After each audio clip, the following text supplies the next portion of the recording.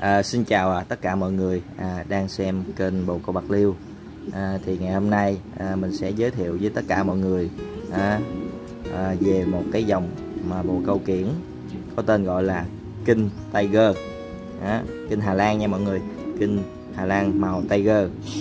Thì à, tại sao gọi là màu Tiger? Thì mọi người nhìn đó à, nó có bông trắng đen trắng đen đốm đều trên cơ thể của nó hết à, à, nên người ta gọi là tiger. Ừ. thì à, thứ nhất thì mình sẽ nói là cho mọi người biết là về à, tiger này có bao nhiêu loại màu tiger. À, rồi sau đó mình sẽ nói về, về giá trị. Rồi sau đó mình sẽ nói về các phương thức để lai tạo ra màu tiger. À, rồi bây giờ thì à, đầu tiên là Tiger này có tổng cộng bao nhiêu loại? À, thì uh, Tiger uh, như anh em biết á, là Tiger là màu trắng đen. Nhưng mà ngoài trắng đen ra nó cũng còn có rất là nhiều loại Tiger khác. À, ví dụ như là Tiger xám Tiger bạc rồi à, Tiger mà màu đỏ nữa. À, tức là đỏ bông trắng. Ừ. thì à, sau đây mình sẽ đưa lên một số hình ảnh cho mọi người cùng xem à, thứ nhất là về tiger trắng đen. À, tiger trắng đen thì có chia ra làm hai loại. À, một là tiger à, nền trắng chấm bông đen. Hai là tiger nền đen chấm bông trắng. Rồi à, tiếp theo là tiger bạc. À, hay gọi là tiger xám cũng vẫn vẫn đúng thì à, tiger này thì nó có thêm một màu xám nữa. À, à, xám đen và trắng nó sẽ pha trộn với nhau. À, rồi à, còn một à, cái cuối cùng đó là tiger có những cái màu khác như như màu tiger đỏ bông trắng hoặc là vàng bông trắng.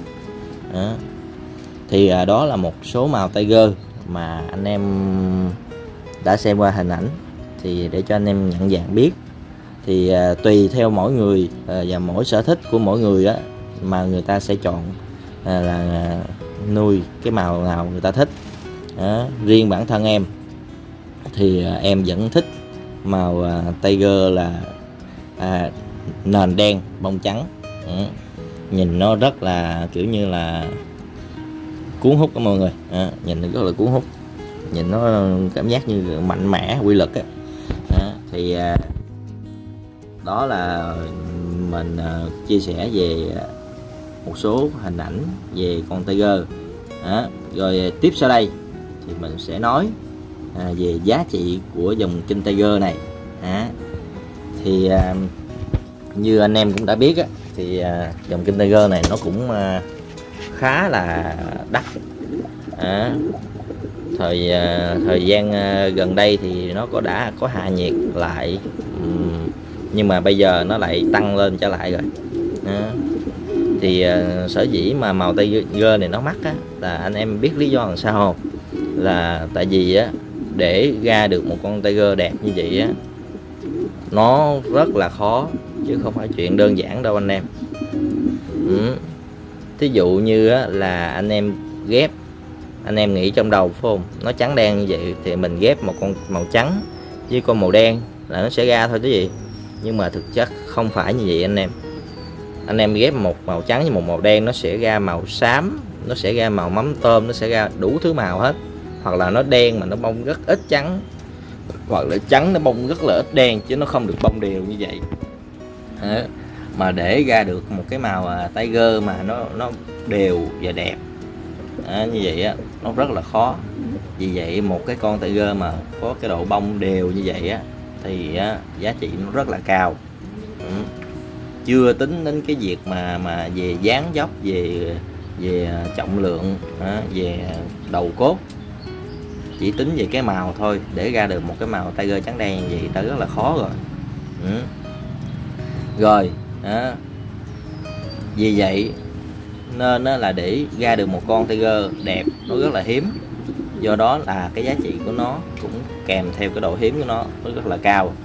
Đó, thì thời thời điểm gần đây thì bắt đầu ờ, anh em uh, rất là ưa thích cái màu Tiger này. Ngay cả bản thân mình mình làm clip mình đăng lên thì anh em liên hệ mình hỏi toàn là đa phần là hỏi cái màu này không à. Đó, thì ờ, thời buổi bây giờ thì nó bắt đầu nó nó nó giá nó cao lên rồi. Tại mọi người biết sao không? Tại bây giờ là những cái cái ờ, màu tiger này anh em bắt hết trơn rồi. Đó, nên bây giờ hút hàng giờ không có nữa. Đó, nên nó là giá trị của nó cũng được nâng lên. Thì cái gì cũng vậy thôi mọi người. Cái lúc mà mà nó tràn lan nó nhiều quá thì bắt đầu nó nó rẻ. À, đến cái thời điểm mà anh em người ta nhận biết được cái con chim chuẩn con chim dáng như thế nào rồi đó thì người ta chọn lọc người ta lựa lại người ta chơi hàng chuẩn thì từ từ giá trị nó cũng nâng lên theo. Ừ rồi. À, đó là về à, cái giá trị của con kinh tiger. Thì nó hiện tại thì có khoảng trung bình là tùy theo anh em bán.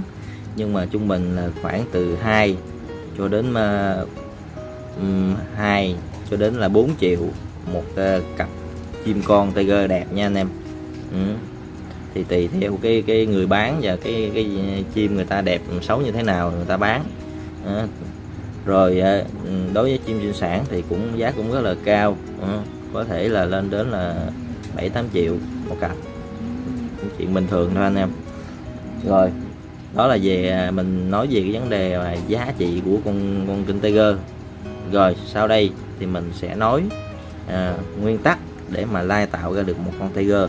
À,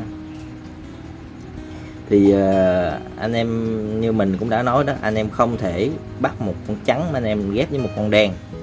Mà anh em phải bắt trên cơ sở là à, nó có một cái màu tiger.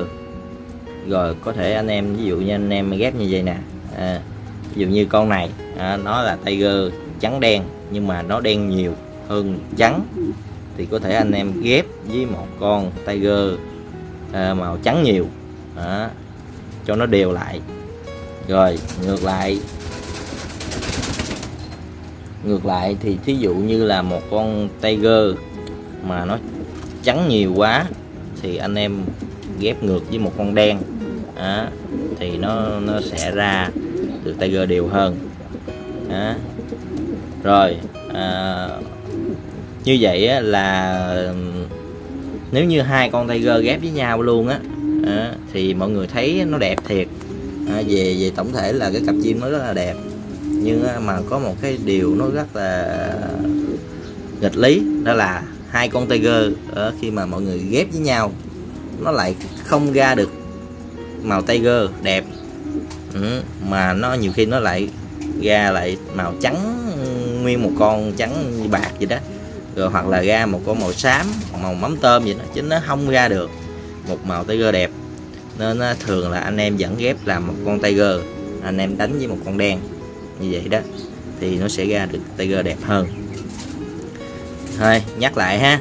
Tức là mình để mình lai tạo ra được màu tiger thì bắt buộc một nguyên tắc là vẫn không thể thiếu đó là phải có một nguyên liệu là một con tiger. À, chứ anh em đem một con trắng với một con đen anh em ghép lại là không bao giờ được có thể anh em đem đem con một con tiger à, anh em ghép với con trắng hoặc là anh đem đem một con tiger anh em ghép với một con đen hoặc là ghép với một con xám con xì tiểm gì đó mà nó là con của, của những con tiger này nè ra thì vẫn được. Đó trên nguyên tắc là như vậy ha anh em.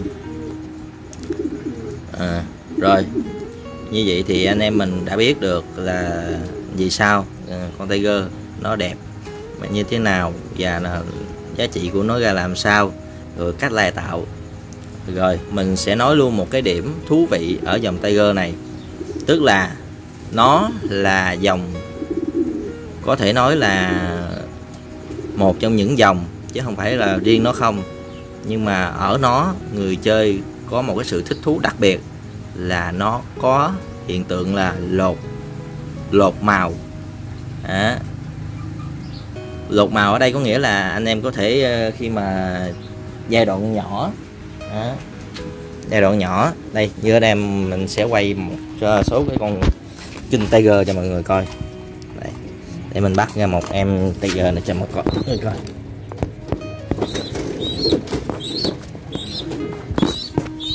Rồi dạ. đây.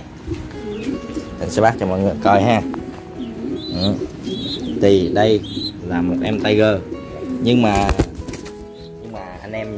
nó thì thấy nó giống như là nguyên một con màu đen luôn. Chứ nó không có phải là à, tiger từ nhỏ. À, tức là nó nguyên một con nó màu đen.